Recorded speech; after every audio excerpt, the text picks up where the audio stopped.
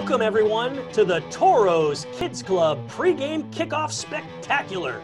Here's your host, the best mascot in the NFL, Toro!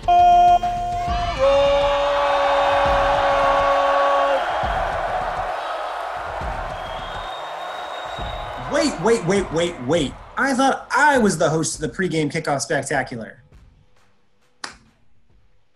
What? No, me! You laughing at? Oh, yeah? You really think you can do this alone? Take it away, Toro.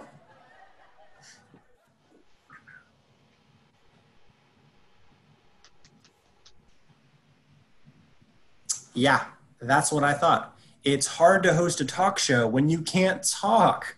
I can help you out though. Welcome, everyone. This is our first ever Toros Kids Club pregame spectacular, and we have a fantastic show lined up for everyone. Before every upcoming Texans home game, join us here as we preview the upcoming game and opponent. Today, it's Kids Day, and the Texans are taking on the Jacksonville Jaguars at noon. Uh, hey, hey, you two, cut it out right now. Yeah. During today's show, we're going to do a little history lesson and learn about our opposing team, the Jacksonville Jaguars. We will also be joined by Texans insider Drew Dougherty to talk X's and O's and Toros what to look out for. And we have a surprise guest, so make sure to stick around. Now, everyone, grab some snacks, get comfy, and let's go, Toro!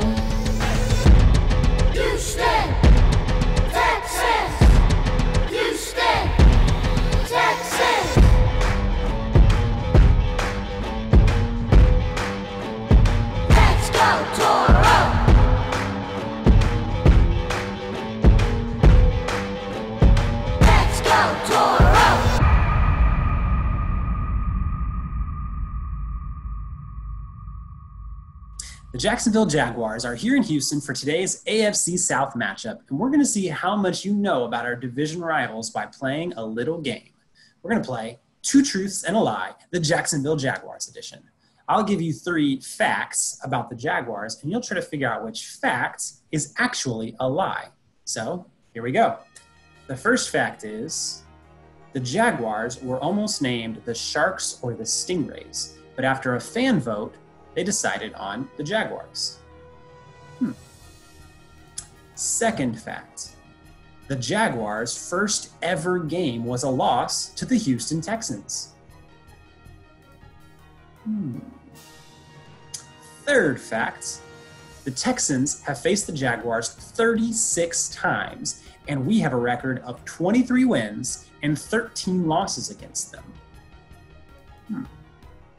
So, Toro, which of them is a lie? Number two? Oh, I thought I was going to get you. That's right, it was number two. The Jaguars' first ever loss was not to the Houston Texans, though the Jaguars' first loss was to a team in Houston.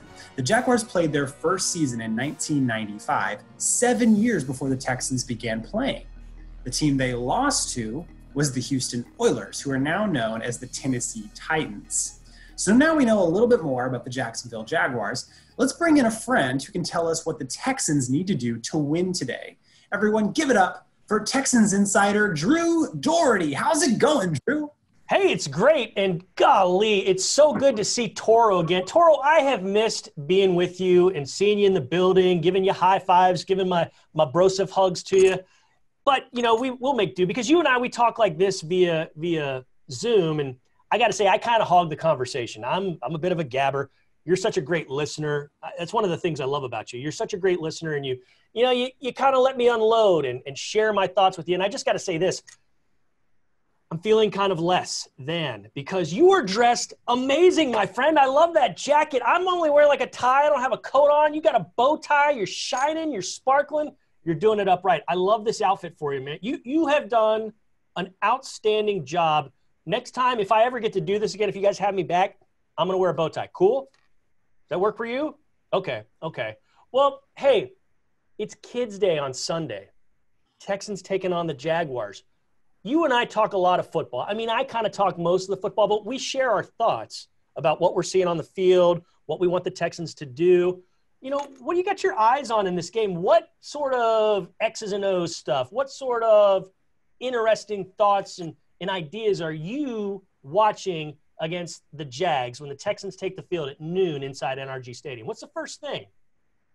Huh? Oh, Coach Crennel. That's a good one. It's the first game as interim head coach for Romeo Crennel. We love Romeo for many, many reasons. He's a great guy, he's a great coach, and everybody in the locker room really respects him. And you know, he would like that jacket because he's got a lot of similarities with that jacket. You know what he has? He has one, two, three, four, five Super Bowl rings. So he's got a lot of bling on his hand. You've got a lot of bling there on your coat. But he won three Super Bowl rings when he was an assistant coach with the uh, New England Patriots back about 15, 20 years ago.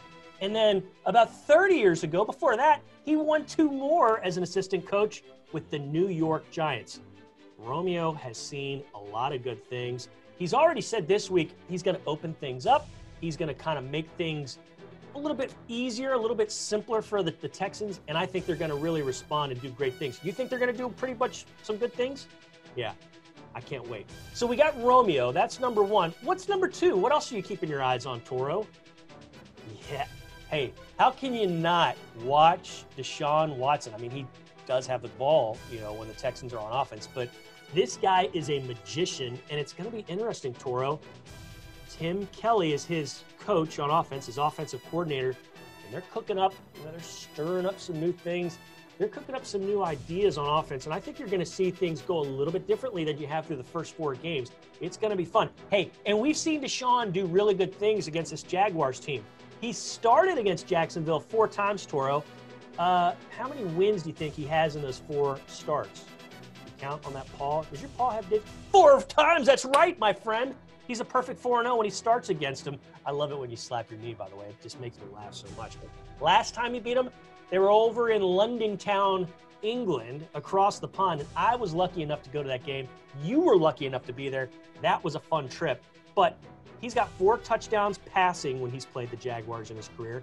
He's also run for two more, and he completes about 63% of his passes.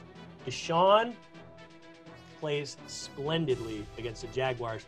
I think it's going to continue on Sunday. Sound good to you? You cool with that?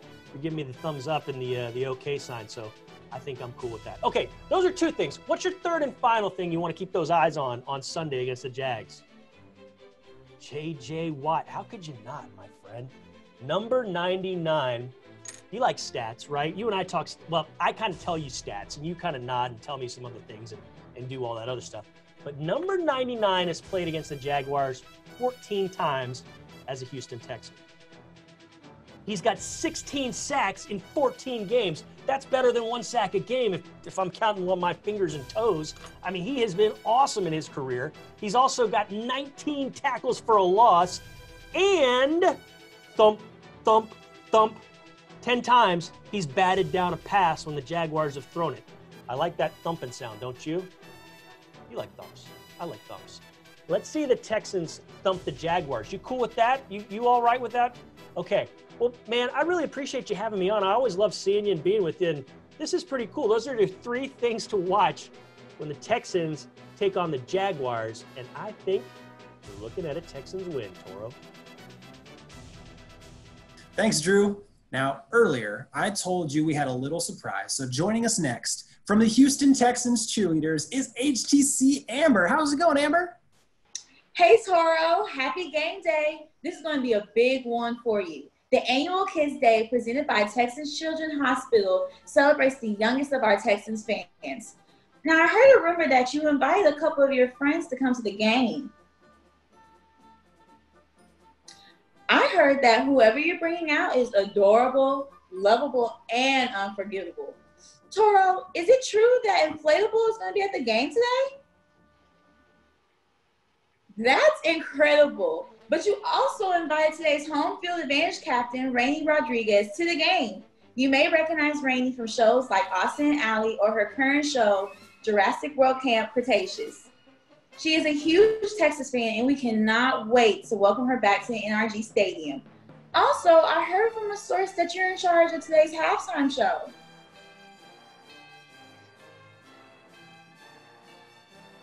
What does candy have to do with halftime? Well, I cannot wait to see what you have planned.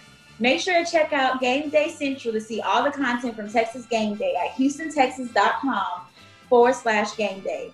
There are two ways you can join us at the NRG Stadium. You can buy tickets at ticketmaster.com forward slash Texans, and you can purchase a fan cutout to help us cheer on the team virtually by going to houstontexans.com.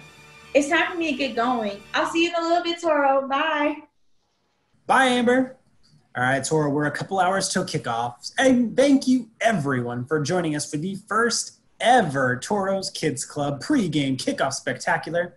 Now it's time for the Houston Texans versus the Jacksonville Jaguars. Make sure to tune in at noon on CBS or listen on Sports Radio 610 or Mega 101 in Spanish. Today's game is going to be a good one. Till next time, go Texans!